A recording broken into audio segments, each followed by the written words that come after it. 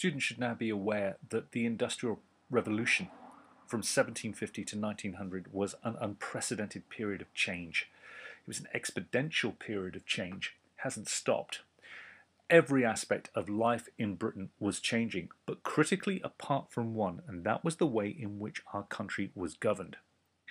The Britain of the mid 19th century was still governed in a way that the rural Britain of 1750 had been governed. And yet, huge change has taken place. Britain is now an urban rather than a rural country. Britain is now a country with a huge working class and a very big middle class, and yet not enough of them have got the vote. We are going to study how that system changed, having already discovered what was wrong with it. And one of the big groups responsible for that change were the Chartists. Now, today we would refer to them as lobbyists. But they, along with the trade union movement, started to emerge. If the workers were not given a vote and were not given a voice, they would form their own organisations that would do it for them. That's what trade unions did for people who worked in the factories, and people who wanted the vote formed a group called the Chartists. And of course, they provide a huge dilemma for the government. How do you deal with these people who want to force change? And take the power and control away from you. So, firstly, knowledge retrieval. Which of these statements refer to politics before 1832? And then the highlighting is done for you so the students can make their amendments. What do you already know about them? Chances are, most students, it will be very little to nothing. So, watch the initial clip and answer the questions in your booklet. Then read the following fact file and color code the information. Who were the Chartists? What were their aims? What were their tactics?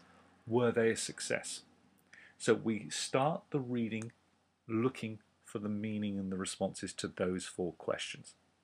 The idea is the, te um, the technique employed in today's lesson will be using color coding to sort out what is and what isn't relevant in the text.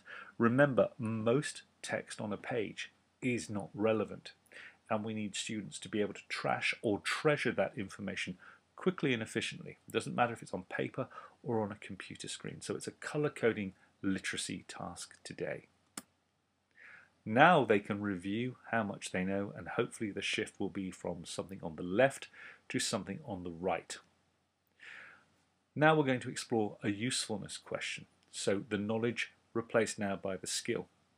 The usefulness question requires you to explain how useful a source is to a historian to carry out an inquiry. Those are the three levels there. Okay. Task 3. The usefulness question. How useful are sources A and B to an historical inquiry into the Chartists? Source A, an engraving. Source B, uh, a picture.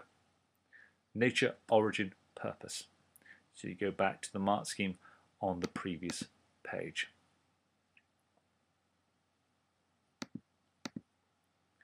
Task 4.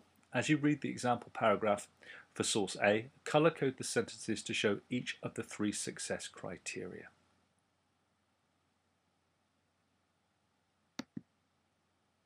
And it's explained there.